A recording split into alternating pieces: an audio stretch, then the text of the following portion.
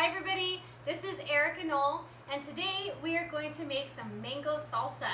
Now this is something that I discovered a couple of years back.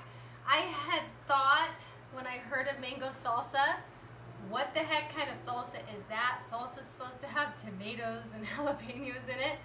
But when I tried it for the first time, it was amazing. I could not believe that you could make salsa with mangoes.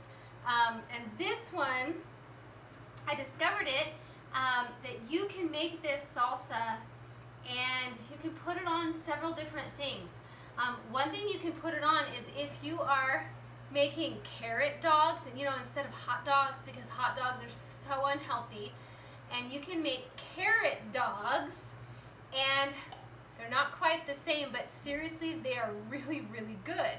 And so, um, the carrot dogs, when you put the mango salsa on them, that just sings to your taste buds. So I'm not gonna make the carrot dogs tonight, but I am gonna make the mango salsa.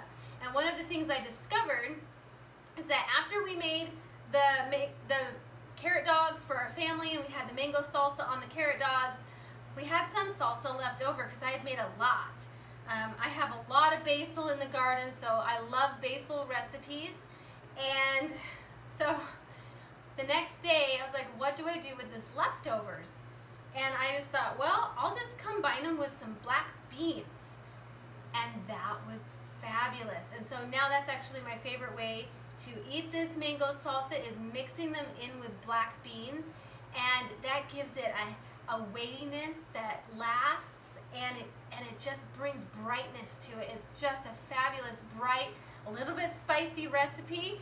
Now you can leave the spice out if you really don't like the spice because um, we use chipotle peppers that are in adobo sauce. It's a little bit spicy. I like that. If you don't like the spice, you can leave that ingredient out. But the rest of it, super yummy, super delicious. I hope you enjoy this.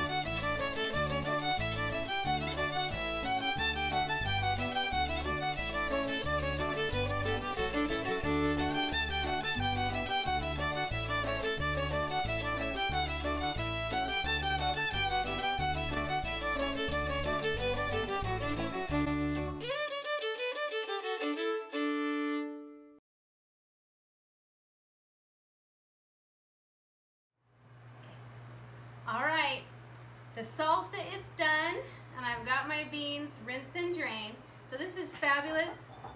I eat this for lunch and literally, uh, not quite that many beans, like half, about half a can of rinsed beans and then I'll put the rest of them in a baggie to use for something else the next day.